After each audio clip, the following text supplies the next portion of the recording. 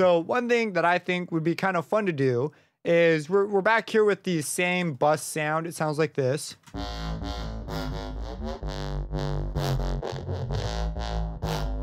I think it'd be fun to outline this movement, but with the new spectral filters that are available and to really, really go after it with these with these movements. So this first Q4, I'm actually gonna rename to like, I don't know, something like boost because we are gonna do some big boosting. We are gonna cut back internally.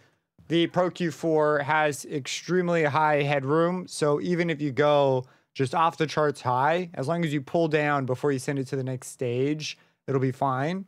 Uh, and then in the second one, we are going to go for fix it, basically. Uh, that's the entire notion. This is going to get what the heck is going on here, and then this is going to undo it.